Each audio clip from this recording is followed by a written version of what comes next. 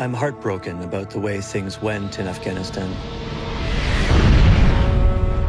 Powerful armies invaded this country with slogans about peace, democracy, women's rights. It was a disaster. Now the foreign troops are withdrawing. Whatever they leave behind, so far, it's not peace. My name is Graeme Smith. I came here as a young Canadian war correspondent more than 15 years ago. I followed troops into battle. I took thousands of photographs. Spent years smelling the death. The charred flesh of suicide bombers got stuck in the treads of my shoes. Why would I come back to a place that gave me nightmares? I want to see if there's hope for peace.